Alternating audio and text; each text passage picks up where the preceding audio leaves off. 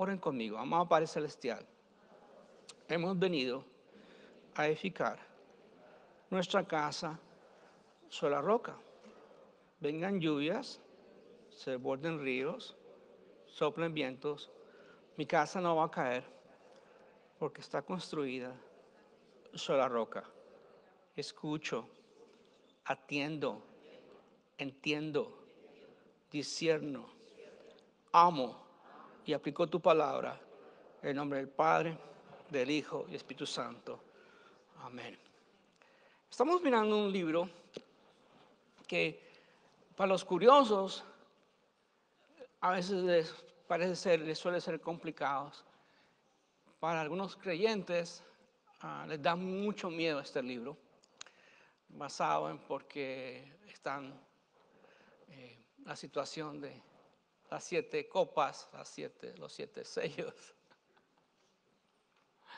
Um, encontramos eh, las siete trompetas, entonces obviamente habla de los tiempos finales y lo que está por suceder. Entonces les he dicho a ustedes, siempre voy a repasar un poquito antes de entrar al tema de hoy.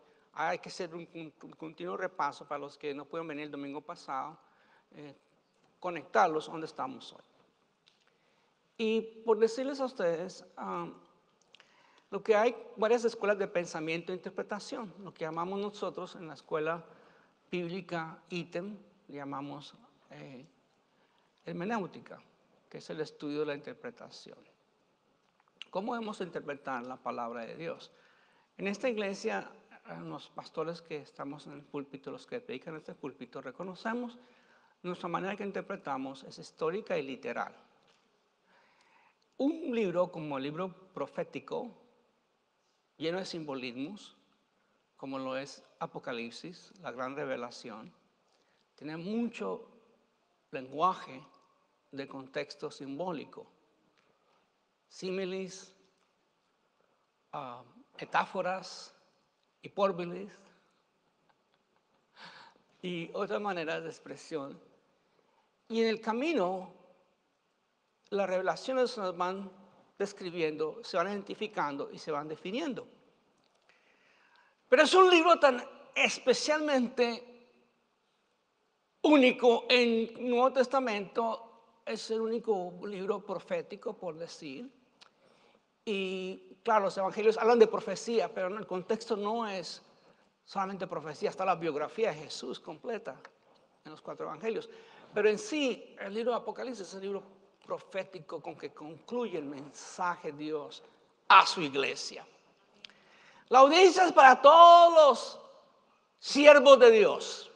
Y les advertí a ustedes que los siervos son esclavos, es sinónimo con esclavos. Les recuerdo una vez más que el libro de Apocalipsis tiene que ver mucho con el tema del idioma griego y cuando ha habido cambios de idiomas, interpretaciones y a lo que es traducciones, que es lo correcto, porque interpretar es de boca a boca y, lo que es traducción es por escrito. Algunos temas se pueden perder si no vamos con ah, teólogos que nos regresan allá y nos dicen el por qué algunos temas se tratan como se tratan. Entonces estaba hablando yo que hay cuatro escuelas de interpretación, ah, por lo regular, en general. Está la preterista que habla que ya el libro de Apocalipsis pasó que en el tiempo de Nerón ah, y, el imperio romano, Nerón era la bestia, el imperio romano era prácticamente eh, la Babilonia y que ya pasó. Entonces, ¿qué hacemos con los capítulos 20, 21 y 22? Que hablan del futuro permanente, el futuro para siempre, el futuro eterno. ¿Qué vamos a hacer con eso? ¿Cuál va a ser nuestra aplicación? Ah, al mismo tiempo, Ah, están los futuristas que dicen que el capítulo 4 en adelante todo es futurista, nada, no, todavía va a pasar, ni todavía no ha pasado, y, tienen mucha razón. Y también está lo que es otra escuela, que es el, idealismo, que dice, bueno, ese libro fue escrito con un propósito muy, muy, muy especial. El propósito es de entender la guerra entre lo malo y lo bueno. Pero es más como algo profético, que, perdón, poético y profético, y para interpretarlo como algo de, la vida, para la vida en idealismo. pensar que la vida es así, que está lo bueno está lo malo. Listo. Entonces, está también a la posición que tenemos nosotros, obviamente, histórica, literal y práctica. Ahora, siempre es necesario para poder aplicar la palabra de Dios, se requiere entenderla, discernirla, lo que éramos al principio, entenderla para poder aplicar. Yo no puedo aplicar algo que no puedo entender. Amén. Aquí el libro te enseña cosas especiales, hay promesas. Ustedes durante este tiempo que vamos a tener este libro van a ser muy bendecidos. Diga, yo soy bendecido. Diga, va a ser bendecido. Porque el mismo libro lo promete. Juan 1.3 nos dice bien claro, perdón, Apocalipsis 1.3 que lo escribe Juan, nos dice así, bienaventurado el que lee y los que oyen, hay que leer, hay que oír las palabras de esta profecía y guardan, leer, oír y guardar las cosas que en ella está escrita porque el tiempo está cerca. Solamente quiero decirles algo. ¿Por qué Dios nos puso a estudiar el libro Apocalipsis? Bueno, hay que definir los tiempos. Un ejemplo, ahorita en Moscú, en un lugar de ópera, 133 muertos hasta ahora, no sé si se, aumentó ya el número de muertos. Me encontraron que venía la fuente de eso, fueron terroristas extremos, religiosos, que ahora están por todos Estados Unidos también preparándose. Estamos en los últimos tiempos. Pero no es para temer es para alegrarnos porque la venida del Señor ya está cerca. Y este libro no es un libro de fatalidad, no, este es un libro de victoria, de conquista, de gran yo soy. Su nombre es Jesucristo y Él es victorioso a través de los tiempos y sella los últimos tiempos con la victoria a su iglesia. Su muerte y resurrección no es en vano. Se cumplirá todo lo que la Sagrada Escritura lo dice. Cielos y tierra pasarán, mas mi palabra no pasará. Todo lo que está escrito se va a cumplir. Entonces entramos a Apocalipsis, entramos al capítulo 1 y empezamos a descifrar de nuevo este concepto de este libro. Y cada uno se enfoca diferente. Hoy, el domingo pasado, inició Pastor Valdés en el primer servicio. Eh, esta mañana le tocó a Miguel Robles y ahora me toca a mí. Y el tema es lo espléndido, lo asombroso de la apariencia del Hijo del Hombre. Es interesante, es que lea yo, ¿por qué el término el Hijo del Hombre? Vamos a descubrirlo. ¿Por qué no el Hijo de Dios o el Hijo de David? El que tiene las llaves de la vida y de la muerte. El que tiene las llaves del Hades. Y el que tiene la llave de David. Donde él abre, nadie encierra. Y donde él cierra, nadie abre. Ese glorioso Jesús de él vamos a hablar. Y vamos a hablar de una manera extraordinaria porque a través de las Sagradas Escrituras vemos porciones vemos momentos que se nos muestran el telón, pero no pueden mostrar detrás del telón. Por eso se llama el libro Apocalipsis Revelación, porque ahora sí, con la revelación que le viene a Juan de la isla de Patmos, en la isla de Patmos, se abre el telón. Y vamos a ver a Jesús de una manera extraordinaria. Empieza a identificarnos el escritor cosas extraordinarias sobre Jesús y su presencia. Vamos allí. Capítulo 1. Yo terminé en el 7 y vamos a continuar. Abrimos con la voz del Señor. Versículo 8. Yo soy el alfa y la omega. Si quieren como hicimos también en el segundo, vamos a aprender de eso, que la importancia de reverencia a la palabra de Dios. Por eso estamos haciendo un cambio, ahorita hacer la palabra de Dios pública, leerla públicamente. Se pueden poner de piel y leer conmigo. Y los que no tengan Biblia, los pastores están, pero súper atentos. Llévales ustedes una Biblia para que no lean su teléfono. Porque su teléfono tiene una tendencia a hacer cosas raras. Ah, a propósito, les voy a pedir como nunca antes, primera vez que les pido esto. Durante esta enseñanza, hágame un favor, le va a permitir usar su teléfono, siempre y cuando usted busque en las redes sociales, nosotros, Facebook, y nos comparta para que otras personas escuchen este mensaje. Amén.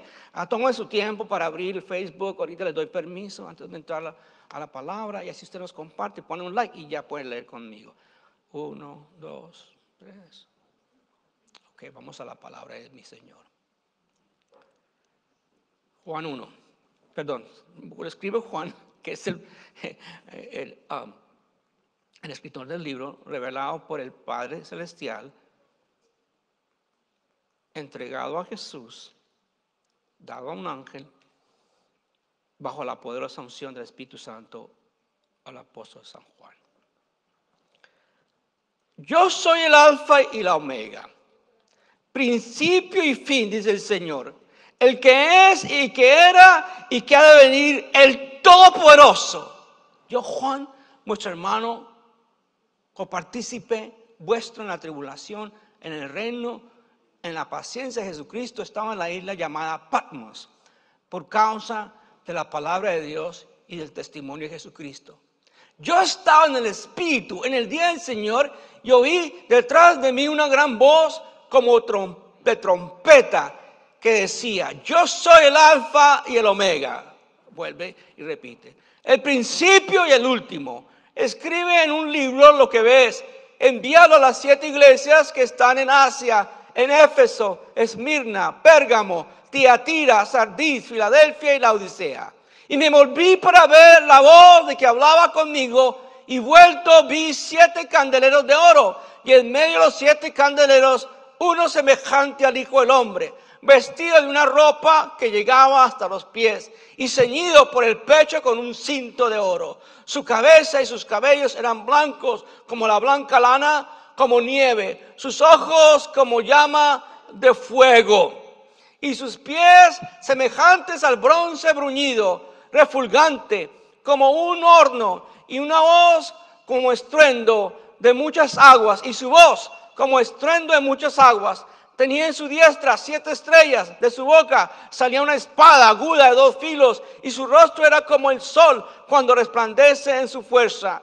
Cuando le vi, caí como muerto a sus pies y él puso su diestra sobre mí diciéndome, no temas, yo soy el primero y el último, el que vivo y que estuve muerto, mas he aquí que vivo por los siglos de los siglos, amén, y tengo las llaves de la muerte y de las del Hades, perdón. Escribe las cosas que has visto y a los que son y a los que han de ser después de estas. Y el misterio de las siete estrellas que has visto en mi diestra, de las siete candeleros de oro. Las siete estrellas son los ángeles de las siete iglesias y los siete candeleros que has visto son, los siete, son las siete iglesias. Y su pueblo dice, amén. Tomen asiento. Algo en la Biblia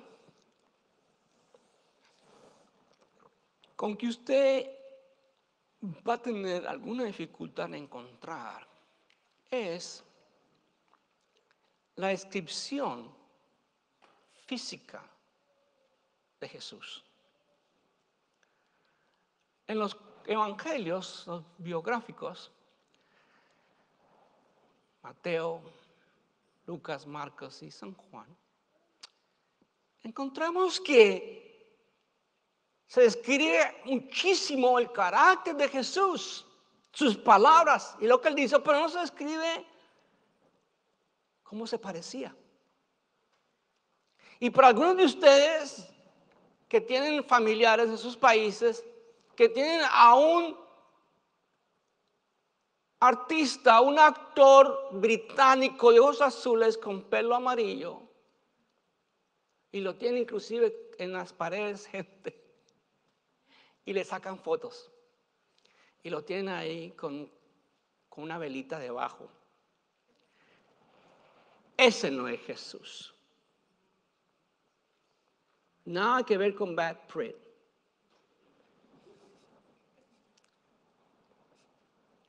Nada que ver con ningún famoso Hollywood. Es más, un antropólogo israelí hizo grandes estudios con los huesos de personas que vivieron el tiempo de Jesús. Y estudiaron la genética de altura, de color de cabello y de piel y descubren que Jesús es latino.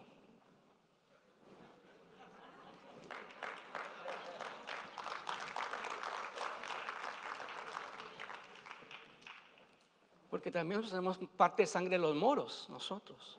Los moros tuvieron 700 años, 700 años en España. Y los moros son árabes y el Mediterráneo. Acuérdense que eran dos hermanos donde empezó toda esta broma. Isaac, perdón la palabra broma, todo este problema para ser más. Ismael e Isaac. Y ahí vienen las cosas que han pasado hasta el hoy, lo que pasó en Rusia. Entonces ya tienen mucha relación en su sangre. Y entonces cuando miran, en realidad Jesús, su parecer y su estatura no eran como lo pintan en Hollywood. Su piel aperlada, color oliva, y tal vez sus ojos color café. Como muchos de los bogotanos.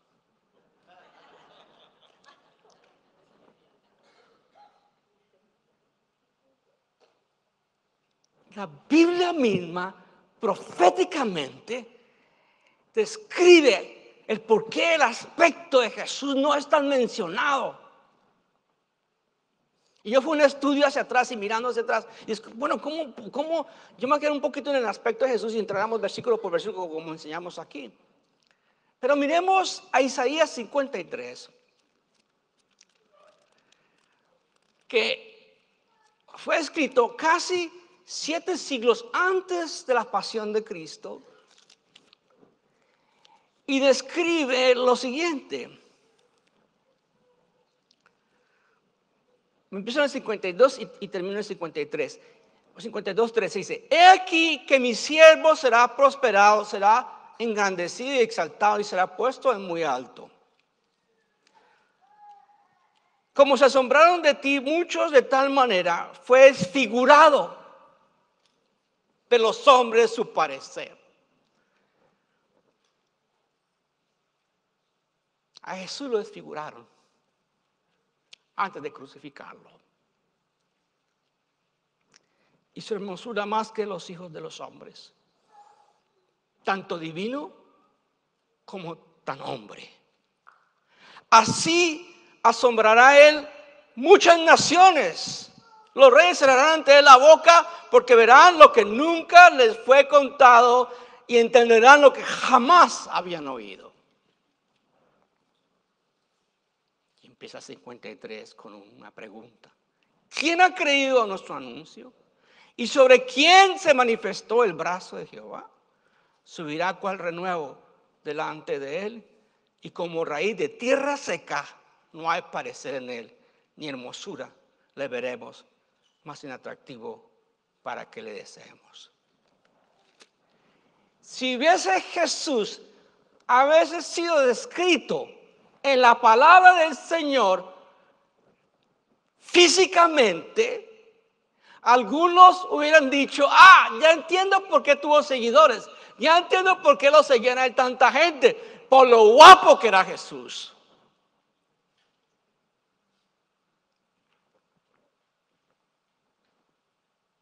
No.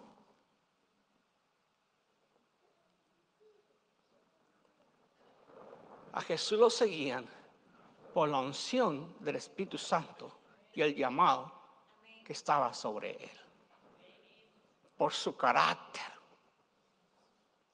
Por los momentos de milagros y prodigios que hizo Jesús. Por eso Jesús lo seguía. Nada se identifica como la estatura, los hombros. Es más, Jesús debió ser un hombre que no necesitó que ir al gimnasio. porque era constructor de casas. En el hebreo se enseña de que, y en el griego, un carpintero. Y un carpintero en ese tiempo en realidad no era solamente madera y serrucho, no, no, no, no. Cuando estuvimos en, Tierra Santa nos muestran que eran las herramientas de un carpintero. El carpintero tenía de todo para hacer piedras, hacer paredes, hacer techos y de todo. Era un constructor. Y sí, hasta plomería. Y como carpintero, era obvio que él debía tener sus buenos músculos para levantar cosas pesadas y ayudarle a José. Entonces tenemos indicaciones muy posible del físico de Jesús, fuerte. Imagínate todo lo que él caminaba. Si uno va en bus allá y va de una ciudad a ciudad y llega cansado en dos horas o una hora de camino, hora y media, dos horas. Jesús lo caminaba esos trechos a pie. Entonces, cuando miramos atrás, Éxodo 24:10, nomás escucho los números, si quiere escribirlo en sus notas, que eso es importante para ti. Después cheque si el pastor dijo algo. Bien, algunos creen que Éxodo 24:10, Daniel 7:9 10, 5 y 6, Apocalipsis 4, 2 y 3 escriben la apariencia física y terrenal de Jesús. Sin embargo, un examen cuidadoso y minucioso de esos pasajes revela que Éxodo 24, 10, Daniel 7, 9 y Apocalipsis 4, 2 y 3 describen la aparición de Dios Padre en el cielo.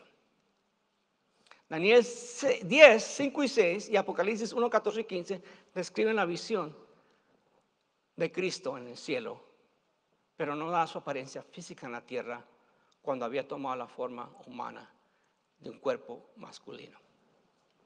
Dice la palabra cuando era niño que crecía en estatura y sabiduría y favor, como todo niño.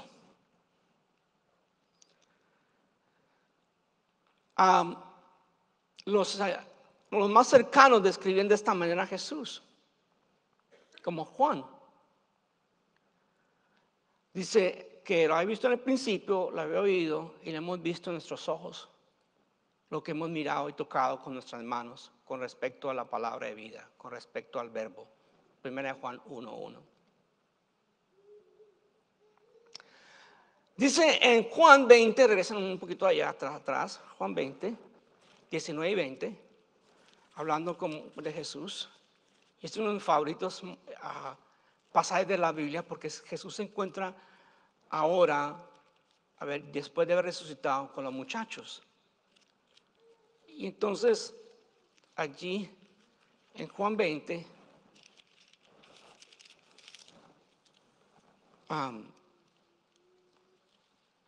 Juan 20, 19 y 20, dice lo que dice aquí. Entonces Jesús les dijo otra vez, ¿se le apareció a quienes? A ellos. ¿Y sabe cómo se les apareció a ellos? En un cuarto, estaban todos uh, ahí preocupados y, están asustados. Y eh, dicho, quiero leer de 19 para que vean que no estoy... Cuando llegó la noche, 2019, de aquel, en aquel mismo día, el primero de la semana, estando a las puertas cerradas y el lugar donde los discípulos estaban reunidos, eso fue el domingo en la noche después de la resurrección, por medio de los judíos, vino Jesús y puesto en medio les dijo, pasa a vosotros. ¿Se abre alguna puerta? ¿Entró por una ventana? ¿Entró por el techo? Entró con un cuerpo glorioso, pero siguiendo siendo muy humano. Y cuando les hubo dicho esto, les mostró las manos y el costado. porque era necesario mostrar las manos y el costado? Para que vieran que era Él, exactamente. Las pruebas de que ha estado en la cruz. Yo tengo un cuadro muy lindo que me lo pintó el hijo de los pastores Muñoz. Lo tengo en mi oficina. Yo lo describí como quería y me lo hizo exactamente como yo lo quería. Es un caballo blanco, lo va a traer. A poner aquí a frente para que lo vean ustedes, tan hermoso. Es un caballo blanco, listo y lo va a montar un jinete. Y el jinete tiene las riendas del caballo listas. Y la mano del jinete tiene la huella de, las, de los clavos de Jesús. Él viene por su iglesia pronto. Y los discípulos se regocijaron viendo al Señor. Entonces Jesús les dijo otra vez, pasa a vosotros, como me envió el Padre, así también yo os envío. Entonces, vemos ya ahora, vemos lo profético de cómo Jesús iba a padecer y cómo iba a ser desfigurado. Vemos cómo Jesús ah, no, fue, no trajo a las personas por su vestidura o su, su, rostro ah, o figura corporal, no. Él atrae a las personas por medio del Espíritu Santo. Hoy en día, y no, no estoy tirando piedra a nadie, saben que yo no tengo ese estilo, pero hoy muchos pastores para atraer a los jóvenes se ponen tatuajes, se hacen unos peinados extraordinarios. Hoy en día, cuando uno ve el básquetbol, eh, hay que esperar un minuto antes si es que es el femenino o el masculino, porque está uno, por la manera que están los hombres hoy en día adornando sus cabellos de unas maneras que uno, uff, debe demorarse más horas que lo que practica para jugar básquetbol. ¿O no? Regresemos. Versículo 9. Yo, Juan, vuestro hermano, y copartícipe en vuestras tribulaciones. Algo se ha dicho, hijo, esta mañana. Aquí hay una iglesia muy cerca de la Mason. Gracias a Dios no ha crecido. Y así la puedo tirar la piedra a esa porque lo merece. Pare de sufrir. A la gente en las congregaciones donde no se habla del pecado y la consecuencia del pecado, donde no se habla de enfermedad, donde no se habla de un infierno que existe,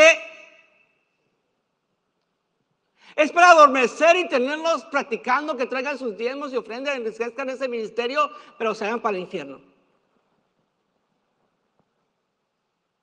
Parte de ser cristianos que vamos a ser probados. Y parte de ser cristianos que sufrimos. Sí, sufrimos algún momento. No tan grave como sufrieron los primeros discípulos. Todos los discípulos murieron como mártires. Todos sin excepción. El único que se mató al mismo fue Judas, porque no era parte del grupo. Se hacía que era parte, pero no era parte. Estaba entre ellos, pero no era de ellos. Pero se vendió una píldora a la iglesia del Señor en nuestros días. Si usted es cristiano, no tiene por qué sufrir. Una vez una abuelita con, buenas, con, buenas, con buen amor estaba predicando en Bogotá y al final me dice, pastor, es que yo no entiendo, porque está hablando de sanidad interior, está hablando de, sanidad física y emocional, está hablando de eso y al final dice, un cristiano no tiene por qué estar afectado eh, eh, emocionalmente, ni deprimido yo. ¿y, ¿Y por qué? Si tiene a Jesús no tiene que fallar en nada, tiene que estar perfecto, tiene que estar súper bien. Y yo, en todas las personas que están teniendo problemas hormonales,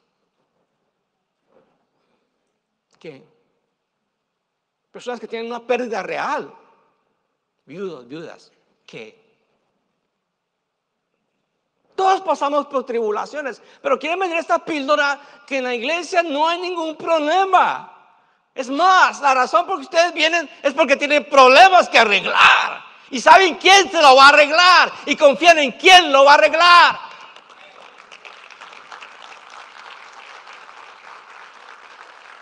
La fe es probada.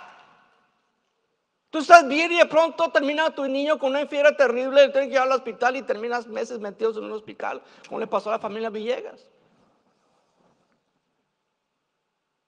Y Dios lo sacó adelante y lo sigue sacando adelante, porque eres fiel.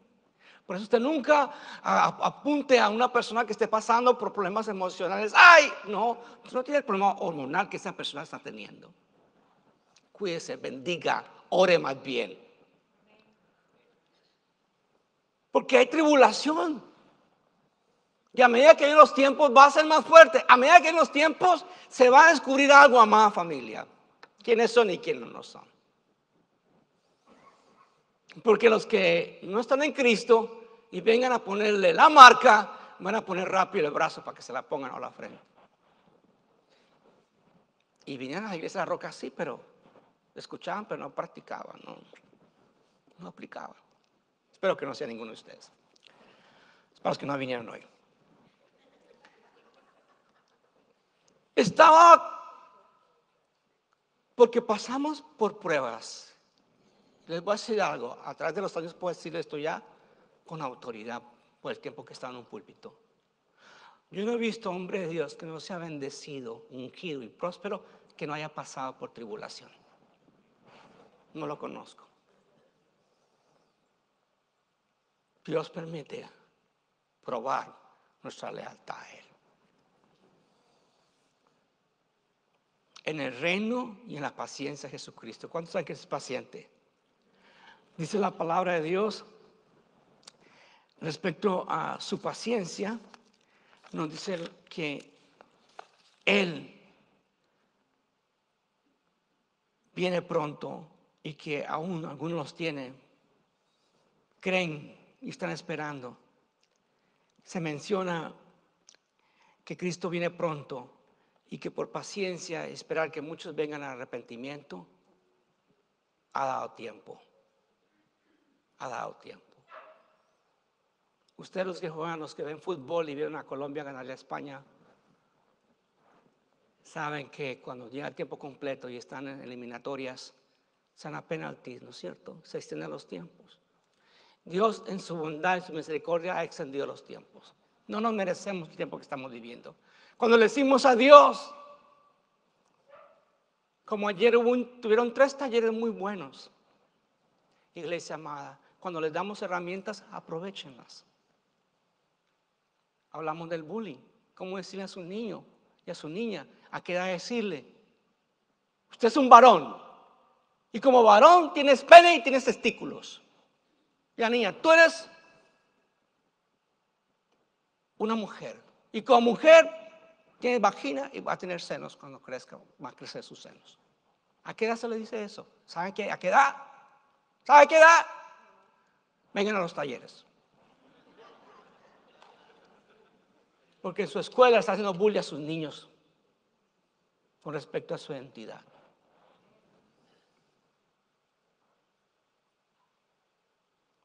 Dios está dando herramientas a su iglesia y realmente tienen que buscarlas porque los tiempos apremian. Jesucristo estaba en la isla, dice, perdón, y, paciencia. El Señor ha sido muy paciente con nosotros. Estaba en la isla llamada Patmos por causa de la palabra de Dios y el testimonio de Jesucristo. Hace bien claro aquí el apóstol San Juan el por qué estaba en Patmos. Por lo regular, cuando llegaban y ponían gente que eran difíciles los romanos y querían hacerle daño a la gente que, que se oponía al imperio romano o que habían cometido verdaderos crímenes, nos mandaban a una isla. Los que no podían matar o no querían matar, nos mandaban a una isla. Y Juan nos hace saber que él no estaba por criminal. Él estaba ahí por el Evangelio.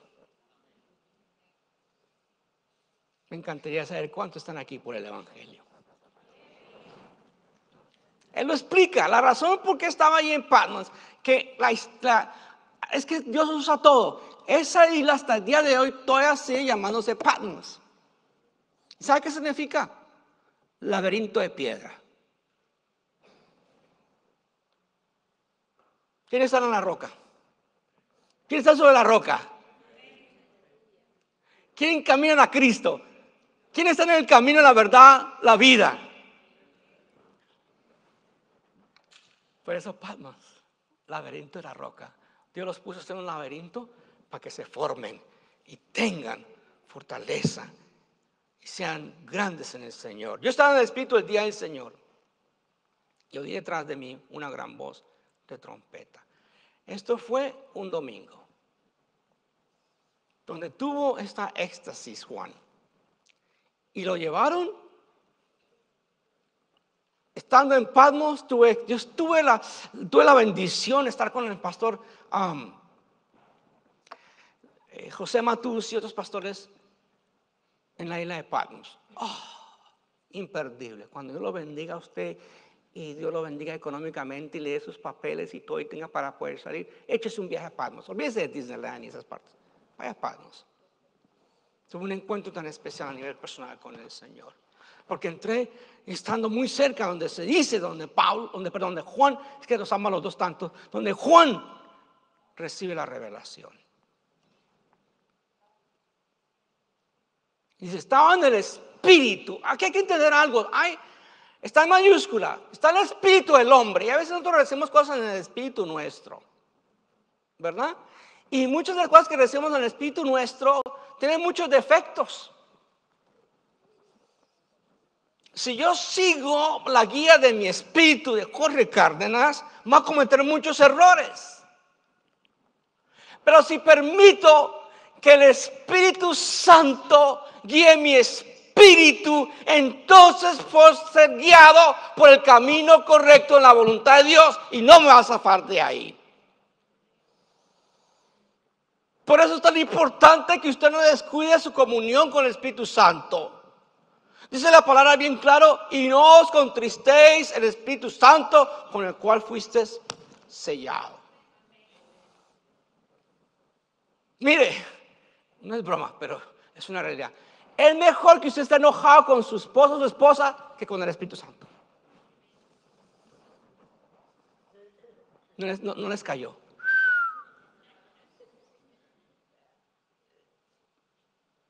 Es mejor que se esté enojado con sus hijos o ellos molestos contigo que con el Espíritu Santo. Hay padres que negocian. El estado de sus hijos para que no mueran el piso, negocian. Hace poco vi una situación de una jovencita que pasó al altar en una iglesia grande sus trencitas, bien decorada su cara con harto Max Factor y lo más que se pone, no sé cuál es la, de moda. En mi tiempo era Max Factor, porque era un factor máximo a las que necesitaban un factor máximo para que cosieran esposo. Sube esa niña, o jovencita, 14, y empieza a dar testimonio. Ese es el testimonio de esa niña. Dios me ama. Mis padres son los pastores de esta iglesia. Y yo vine de una manera al mundo que no era para mí la correcta. Y cambié. ¿Entendido? ¿Entendieron? Mi papá la mamá pastores. La mamá que llega, la, niña con el novio al dormitorio de ella, al dormitorio de ella, ya con el novio. Y la mamá, venga para acá, mijita, venga así, Mucho cuidadito, mucho, mira, aquí está. Le entrega un condón. Que hace, Yo en consejería he visto muchos así, situaciones de esa índole. Es mejor confrontar el pecado con los que tú amas que contristar el Espíritu Santo. Necesitamos el poder del Espíritu Santo para hablar de la manera correcta y ayudar a las personas. Porque usted no se quiere untar con nada. Tu vida es sagrada y consagrada porque la sangre del Cordero pagó por tu vida. No te dejes untar de nadie, ni los más cercanos a ti. Yo estaba en el Espíritu. Significa unión del poder del Espíritu Santo. Y oyó la trompeta, que describe igual que el libro de Daniel, como una, como una fuente de aguas. olvídese el Niágara, una fuente de aguas que dice lo siguiente, yo soy el alfa y el omega, el primero y el último. Las letras griegas del alfabeto empiezan con alfa y terminan con omega. Cuando los, estudiantes fuertes sobre este tema miren el griego, pero miren Juan como judío escribió esto, descubren que lo que quiere decir Juan en su idioma original, por la traducción afecta, es lo siguiente. Soy el eterno pasado y soy el eterno futuro, el alfa y el omega. Él es eterno. Y porque Él es eterno, nosotros somos eternos. Aguantarse una Jorge Cárdenas, porque Él es eterno, porque Cristo es eterno. Uh. Los que no son hinchas digan amén, amén.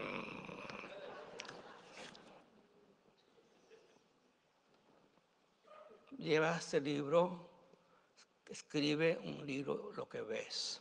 Empiezan una serie de visiones y envíalo a las siete iglesias que están en Asia. Ahora, ¿por qué esas iglesias? Cuando uno va a Asia Menor, o sea, ahora Turquía, que es una historia triste, como, como esa nación, siendo originaria del cristianismo, tanto el ortodoxo como el oriental, la perdimos, perdimos esa nación. Hoy en día es musulmana. Y si tú vas a predicar, te persiguen. Y es interesante que esas iglesias van como un reloj. Cuando llegue a su casa, pregúntele a su tío Google, o no sé si es tío o tía, no sé cuál de las dos. Pregúntele en español. Zona geográfica de las siete iglesias de Apocalipsis. Y ¡pum! Sale un relojcito, como un reloj, ¡pum! Y ahí están las siete. Habían otras iglesias, claro, en ese tiempo habían varias iglesias. ¿Por qué hasta siete? ¿Sabe por qué? Yo no sé. Solamente Dios lo sabe por qué está siete. Dios quería llamar la atención en particular a estas siete iglesias para darnos a nosotros ejemplo de las expectativas que Dios tiene para su iglesia. De las siete, cinco fueron rechazadas y exhortadas fuertemente. Uno se tenía olor a, a muerte, la sardis, olía a pescado feo. Pero dice, en las siete iglesias, y me volví para ver la voz que hablaba conmigo, y vuelto vi siete candeleros de oro. Aquí habla de nuevo de los candeleros. Y en los siete candeleros, semejante al Hijo del Hombre, vestido de una ropa que llegaba hasta los pies, ceñido por el pecho, un cinto de oro. Su cabeza y sus cabellos eran blancos, como blanca lana, como nieve en sus ojos, como llama de fuego, y sus pies semejante al bronce bruñido, refulgente, como es un horno, y su voz como un estruendo de muchas aguas. Este libro es de siete, todo es siete, siete, siete, siete, siete, siete. Y aquí nos da, en este libro, nos da a nosotros el parecer de Jesús y siete cosas importantes que encontramos allí. Siete. Cabeza y cabellos blancos, como la lana. Uno. Ojos rojos como llamas. Dos. Pies de bronce bruñido como bronce, todos como. Voz como cascadas. Mano derecha con las siete estrellas. En su boca tiene una palabra que sale de dos filos muy afilada. Y siete, su rostro brilla como el sol. Mientras que a Daniel se le mandó sellar la revelación, Juan tiene la oportunidad de ver en gloria, de ver lo espléndido, lo majestuoso de Jesús glorioso en el cielo hablándole a su iglesia. Yo lo digo a ustedes. Pero quiero decir algo a nivel personal, no a creerme más espiritual que nadie aquí porque yo no soy súper espiritual.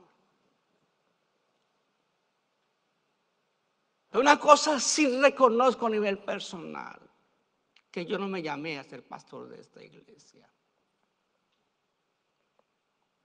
Fue llamado al cielo y tomó tiempo para contestar.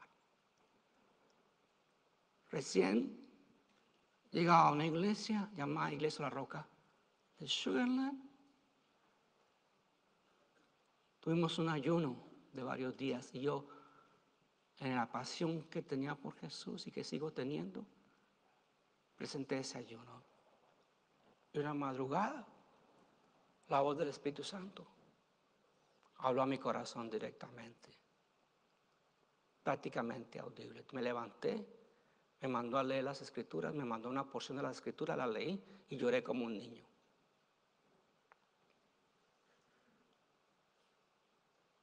No vi nada, no vi a nadie. Solamente la presencia, la hermosura, la dulzura y el calor del Espíritu Santo. Por eso cuando estoy estresado por temas ministeriales, me acuerdo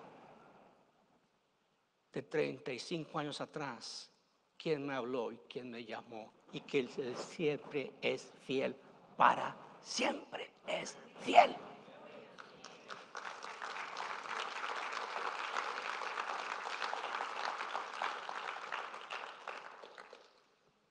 Solamente tuve una vez una presencia angelical, pero de segundos. Y ese tema para el próximo domingo, invite gente. Pero llegar a este punto que únicamente Juan pudo ver, y ver que el talón se abre y entra la majestuosa presencia de Jesucristo.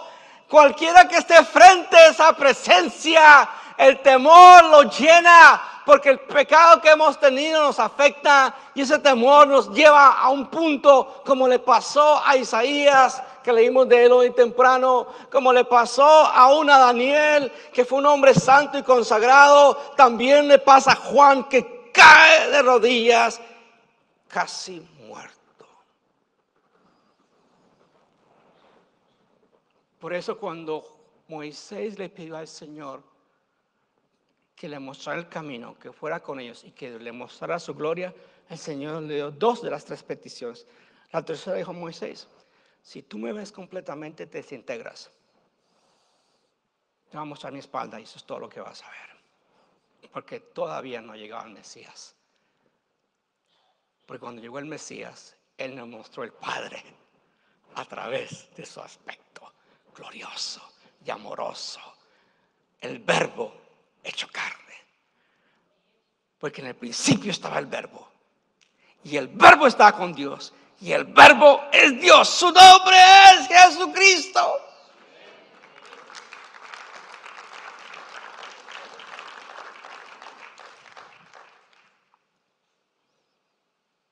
Qué visión tan extraordinaria.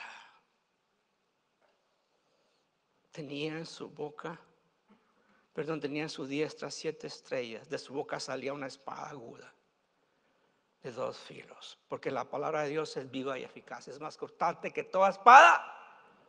Jesús va a juzgar a través de la palabra. Cuando ustedes ven la palabra lo que hace, como corta fino y cómo nos transforma y nos cambia. Y hace esa cirugía de ser personas nosotros antes pecaminosas y llenas de líos. Y viene la palabra de Dios y nos regenera con el bisturí especial de doble filo.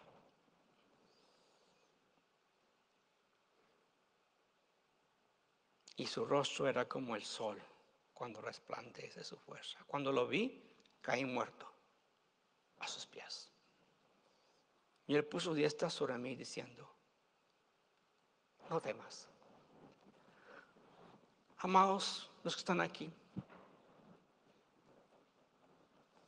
todos tenemos ciertos temores.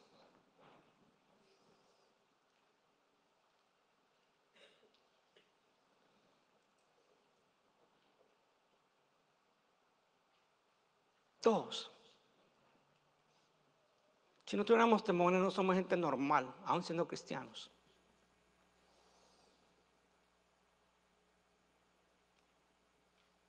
Algunos temor a morir.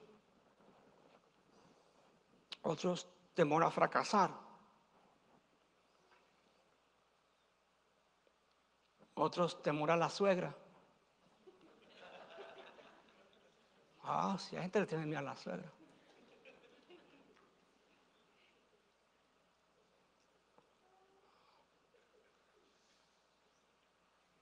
Otros temor al jefe. Especialmente los que están desocupados ahí, rascándose la barriguita. Ven al jefe y empiezan a hacer algo, agarran. Todos tenemos temores. ¿Quién está tocando? ¿Yo mismo? Ah. estamos en la mitad. Pero sigue, sigue. Me gusta el piano, me gusta, me gusta. Sigue tranquilo, sigue, sigue.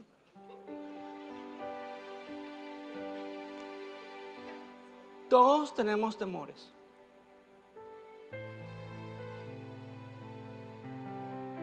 Temor a la soledad. Hay personas que tienen temor a la soledad y se portan tan mal que se van a la soledad por su propio temor, porque actuamos lo que tememos.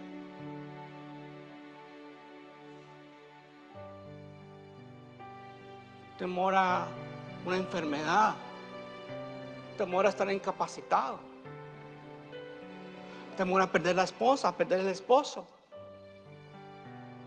temor a que pierda su trabajo, temor que arranque una guerra mundial, que estamos a punto.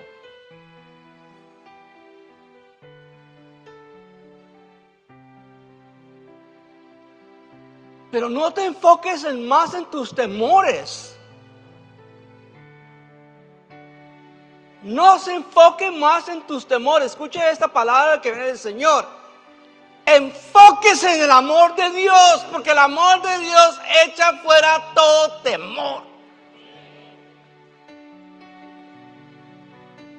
Y Juan, cuando ve la grandeza, la hermosura, lo espléndido, lo majestuoso de Jesús glorioso frente de él, no tiene otro remedio sino caer y sentirse como muerto. Pero Él, Jesús y su amor que tiene por nosotros, porque un amor eterno Él nos ha amado, le pone la mano sobre Él y le dice, no temas. Jesús hoy mismo te pone la mano sobre tus temores y te dice, no temas.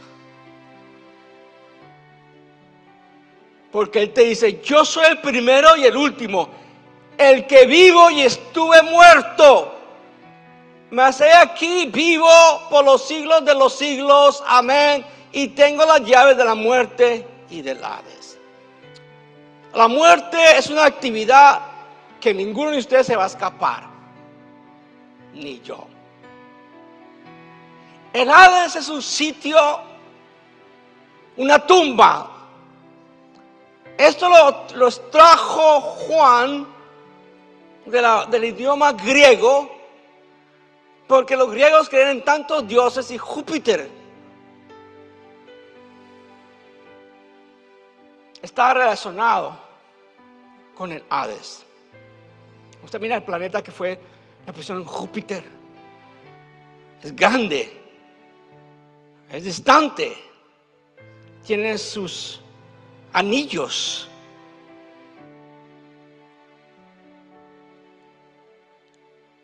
El Hades ya no tiene poder. Tú puedes morir, pero tu vida continúa en Él, porque Jesús venció al Hades y ahora abrió Él la oportunidad de redimirte y llevarte con el Padre a contemplar su hermosura y participar junto con todos los santos en la adoración celestial que está por suceder allá en los cielos conforme a la tierra. Que sean los cielos y que esa oración que hay en los cielos, que la tierra sea conforme en lo que está pasando en los cielos. Escribe las cosas que has visto y los que son y los que han de ser después de estas. Y aquí viene la explicación del misterio. El misterio de las siete estrellas que has visto en mi, en mi diestra y los siete candeleros de oro. Las siete estrellas son los ángeles y los siete iglesias. Y los siete candeleros que has visto son las siete iglesias. Algunos dicen, ah, es que algunos interpretan esto, y quiero estar bien claro en esto, una interpretación aquí interesante. Algunos dicen, bueno, es que el, pastor es el ángel de la iglesia. Uy, si yo fuera el ángel, no, no estaría tan bajito.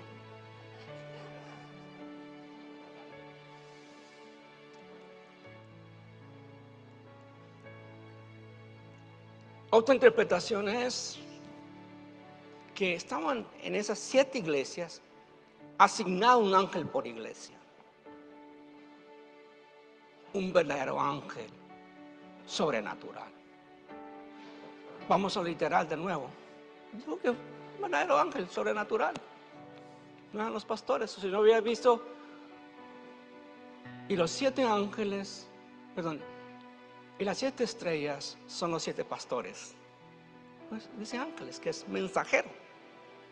Entonces, intercambiación de palabras, no sabemos si se refiere a uno o se refiere a otro.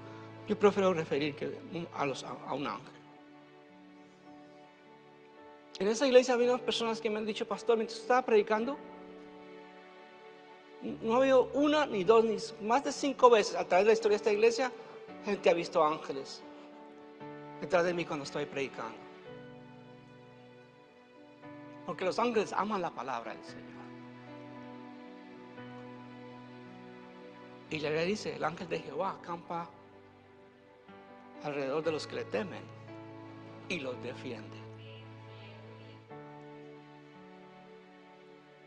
Usted está bendecido. Él mandará a sus ángeles hacia ti para que te guarden todos tus caminos. Además te llevarán para que tu pie no tropiece. Hay protección angelical. Porque estamos en una guerra espiritual.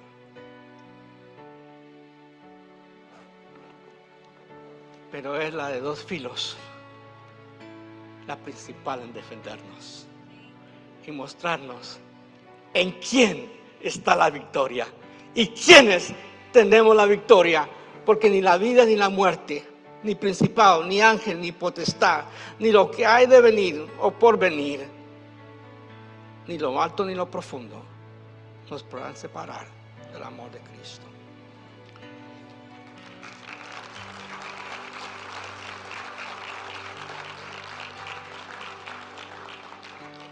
Ustedes van a otro nivel de fe en esta mañana porque ustedes no lo han visto como lo vio Juan ni yo.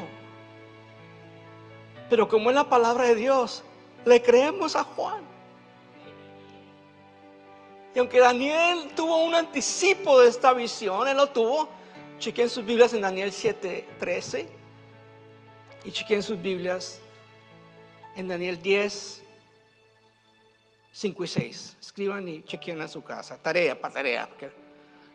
Y estoy diciendo, si alguno de ustedes, Dios le pone en su corazón un llamado en clase dominical, a hacer repaso de lo que estamos estudiando los domingos y, formar, y formamos un grupito en clase dominical con el permiso del pastor Valdés, obviamente, porque él está sobre, sobre, yo no quiero hacer nada sin autoridad él, obviamente, le hago saber y si él dice sí, lo hacemos.